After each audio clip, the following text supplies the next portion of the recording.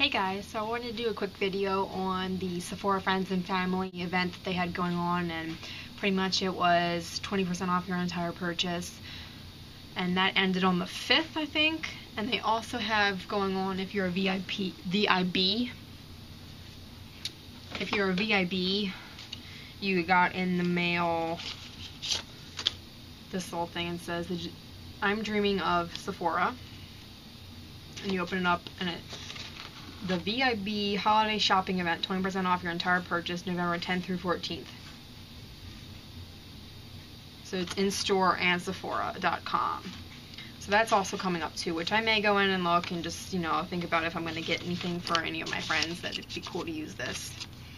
But anyway, so what I got with the Friends and Family event, which is 20% off your entire purchase, was I got two backups of my two favorite liquid and powder foundation, which is the Makeup Forever Matte Velvet Plus liquid, good for oily skin.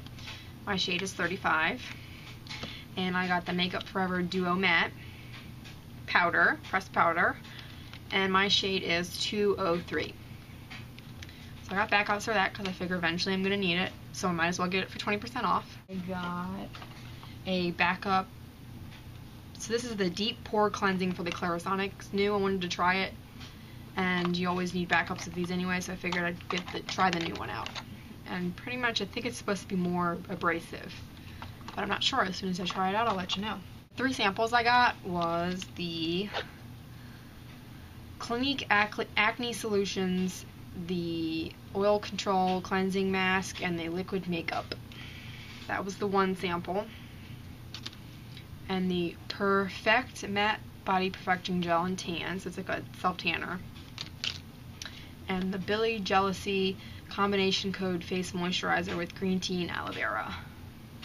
Next thing I got, which I've always kind of wanted, figured 20% off. I don't need it, but I've wanted it, is the Urban Decay 24-7 Eyeshadow Pencil Stash. Which, if you've ever watched any of my other videos before, I rave about these pencils. And it's $35 and you get five and actually luckily all five of them I don't have it I don't have these shades of any of them and they're just a little bit smaller. And to show what the regular size this is what the sample size is. And this is the real size. If you can see that. The same thickness just a little bit longer. They're actually almost the exact same length because if you look at it, I will take one of them out. Down at the bottom, there's that little line like right here, and it's about an inch from the bottom. That, I'm to guess, is not really part of the pencil, that whole inch. And on the sample ones and the ones in the, in the value pack, it's only a really small, like a quarter of an inch part of it. So if you line up the two parts where they should be, where there's no pencil, I'll take the top off of this one since you can't really see it.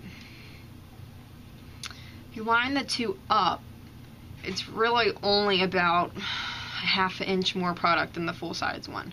The full size ones, I'm pretty sure like 20 to 22 dollars and for half an inch more you get five of them for 35 so it seems like a pretty good deal to me. I've always wanted to try the NARS bronzing powder in Laguna so I bought that to give that a try.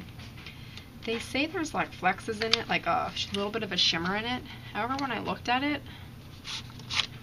I don't remember that being the case. It looks fairly matte to me, but we'll see. Last two things that I bought, I bought based off of the Allure magazine about two months ago to a month ago. They did the uh, like 120 best products for every category. And for the best self tanner, they rated the St. Tropez Bronzing Lotion Self Tanner, which pretty much means it's a lotion with, with bronzer in it so you can see where you're putting it. But it also has the self tanner in it, so like in four hours you'd have a tan. And they also rated the Dr. Dennis Gross Skincare Alpha Beta Glow Pads as the best face self-tanner. So they're anti-aging exfoliating self-tanner with active vitamin B. So they're individual little packets. I bought the 21, 20% off. I figured I might as well buy the more expensive one in case I liked it.